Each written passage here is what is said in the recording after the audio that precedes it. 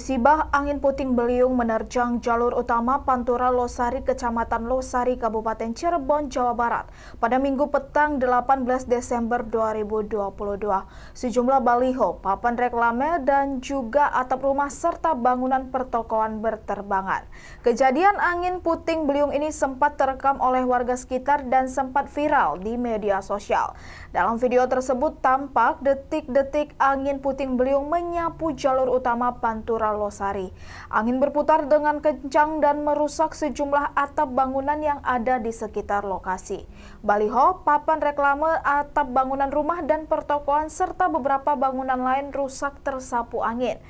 Fedri Juawin, Kepala Seksi Kedaruratan BPBD Kabupaten Cirebon menyampaikan, kejadian ini dimulai dengan hujan yang sangat deras dan juga angin yang sangat kencang pada minggu siang.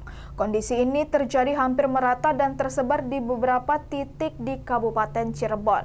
Tak hanya puting beliung, Fedri menyampaikan sejumlah pohon di banyak titik dilaporkan tumbang. Sebagian pohon menutup akses lalu lintas jalur utama dan alternatif. Sebagian dan pohon tumbang menimpa rumah warga hingga menyebabkan kerusakan. Satu orang meninggal dunia akibat tertimpa reruntuhan rumah berupa material. Peristiwa berawal ketika warga tersebut berteduh di saat hujan deras. Tim BPBD, Tagana, serta sejumlah personel polisi dari Polresta Cirebon ini kerjasama merapikan material pohon tumbang di kompleks perkantoran sumber.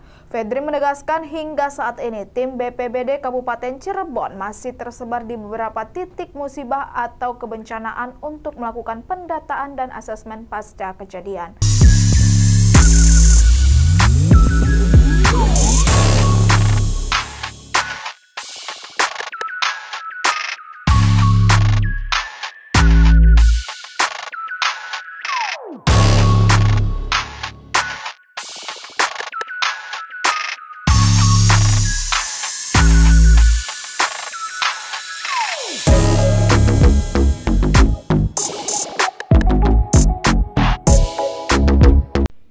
Jangan lupa untuk subscribe, like, dan komen channel ini.